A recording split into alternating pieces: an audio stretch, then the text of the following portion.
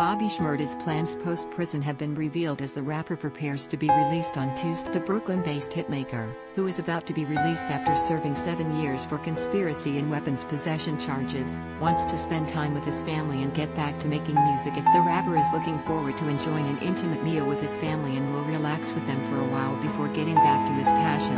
Bobby's mom Leslie Pollard told TM. According to the website, Pollard said the 26-year-old star will devote most, if not all, of his time to creating music Shmurda, whose legal name is Ackquille Pollard, will need to regularly check in with his parole. After his release, he will be on parole until 2026. It was revealed last month by the New York State Department of Corrections that the Living Life hitmaker would be eligible for Shmurda was sentenced to seven years in 2016 after pleading guilty to conspiracy and weapons possession charges in connection to what prosecutors said was a leading role in the G GS9 is an offshoot of the Crips in the East Flatbush neighborhood of Brooklyn. At the time, he had already spent two years in prison in lieu of a $2 million bond. The rapper burst out onto the hip hop scene with his hit single called Hot Boy in the edited version, which subsequently went as high as number 6 on the Billboard Hot 120. The then 19 year old followed that up by signing a seven figure, multi album deal with Epic Rec. Authorities arrested Shmurda in late 2014 after he left a recording studio near Radio City Music Hall,